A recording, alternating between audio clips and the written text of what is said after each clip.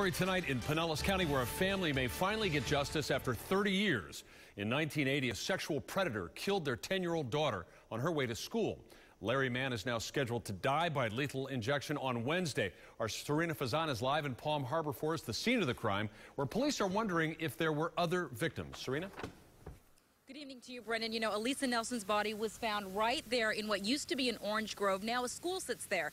But what took this case so long? Well, some members of Nelson's family simply say the killer had a great legal team, while others say there was a problem in the process. And as you mentioned, right now detectives worry there may be other victims.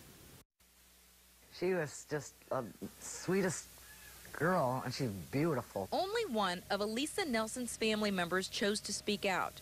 Her aunt asked us not to show her face, but didn't hide her feelings on waiting 32 years for Elisa's killer, Larry Mann, to face justice. I am absolutely disgusted. Uh, it's just a slap in the face for us to be paying for him to be alive up there when he admitted to the crime. Detectives say Mann, a well driller, admitted to grabbing Elisa and taking her to an orange grove just blocks from her school. This is a crime scene photo of Pinellas detectives finding her body. Her aunt knows her niece fought for her life and at least prevented a sexual assault. The forensic evidence proved it. Her aunt says Elisa stabbed Mann in the neck with a pencil.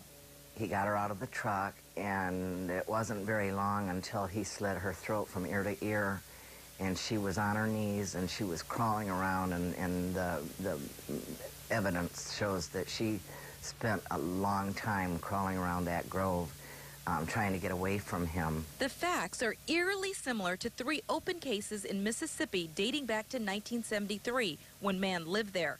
Just today, a detective from Mississippi put in a request to speak to Mann about the deaths of a 13, 16, and 20 year old if he has committed other crimes, I would think for the families of those victims, there should be some closure there. She has nothing to say to Mann. I guess the thought of even speaking to him is so disgusting to me. Now, she actually wants to be at the execution, but she will not be there. She says a rift in the family. Uh, this tragedy has caused a rift in the family. But I did speak with Elisa's brother, who was only 12 years old at the time. He plans on being there. We did put in a request to Mann. He denied talking to us. Back to you.